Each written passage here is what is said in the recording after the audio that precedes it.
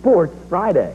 And uh, what a Friday night it is, what, with more important high school football games scheduled than any other week thus far, including two of the best rivalries around, Wheeling Park and Brooke and Big Red Central, which is our game of the week and where we begin tonight. Mr. Ziegler. Mr. Phillips in Steubenville, where they celebrated the 50th anniversary of the storied rivalry that has been played every year since 1943. Now, there are those who will tell you that this is really not much of a game because Big Red had won the last 11 times they had played Central. But those people just don't get it. When it comes to good-natured intensity, Big Red Central is unsurpassed. And even though they are annually billed as the underdog, the Crusaders somehow seem to give Big Red all they can handle virtually every time they play. Tonight was no different. First quarter action. Fourth down play for the Crusaders. Mike Orlando to Fred Manilak. First down inside the five, first and goal for the Crusaders. And then a couple of plays later, it would be Mike Orlando, the quarterback, on third down and goal from the one-yard line. He'll take it in for the touchdown, and the Crusaders led seven to nothing. We go to the end of the half, and Big Red tries to make a comeback. Their quarterback, Shane Nalepa, is going to find his fullback, Chris Snyder, for the big gainer over the middle, down to the two-yard line with just 16 seconds left in the half. They go for the touchdown, and who else do they go to but Tyrone Roseberry. He'll go in from two yards out. A great catch of the pitch into the end zone. The extra point was missed, it was 7-6 Big Red at the half. Second half, Big Red tries to go for a 28-yard field goal, and here's what happened. The wind has died. Black's kick is blocked.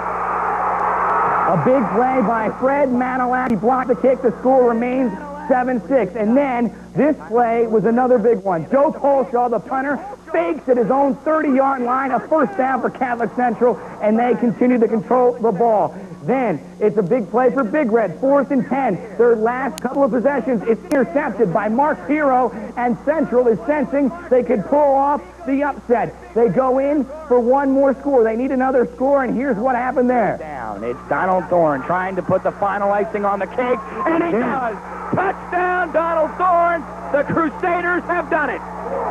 But there was still one last chance for Big Red. They needed to score on this play, down 13 to 6. Throws across the middle, complete the shot. Oh. The clock has expired. He's got to get into the end zone or it's over, and it's over.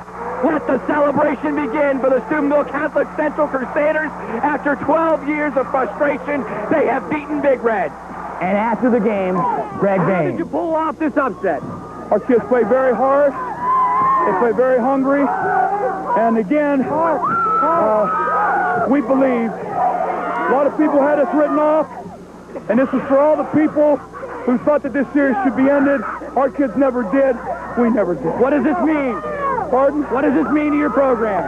Hey, it means that we're four and three. We're, hey, uh, maybe back in the playoff hunt.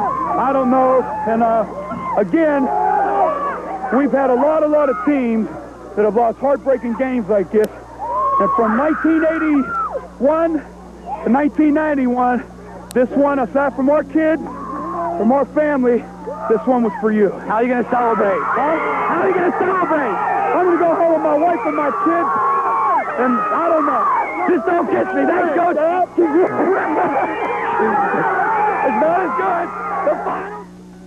Hard out, Lisa Kick.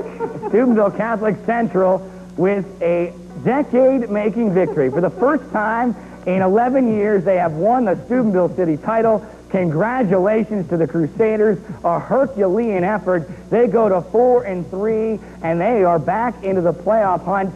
Big Red goes down. They are now five and two on the season. Of course, this game can be seen right after Sports Friday. You'll want to stay up and tape it if you're a Steubenville Catholic Central fan. Defense would hang tough, and as the quarter ends, Big Red is forced into a situation of a field goal. Freddie Manilak breaks through the line and blocks the field goal, giving the Crusaders the football and one of the game's biggest plays. Central used up some valuable time with a drive spearheaded by a great play to Joey Colshaw, who scrambles after the dump pass into Big Red territory. Big Red would stop the drive and try to fight back. But again, the Crusader defense hangs tough. The pass is batted, then intercepted by Mike Hero. He returns the ball all the way to the 25-yard line with just 107 left on the clock. Two plays later, tailback Donnie Thorne scampers around the end He's into the end zone for a 10-yard touchdown and a 13-6 lead. Big Red would try to fight back. Just nine seconds left on the clock. It's downfield. Jason Shackelford hauls it in over the middle. He breaks free, but he can't get into the end zone and dragged down as the clock runs out. Tonight's crusade has ended, and the 12-year drought is over. Steubenville Central wins it 13-6.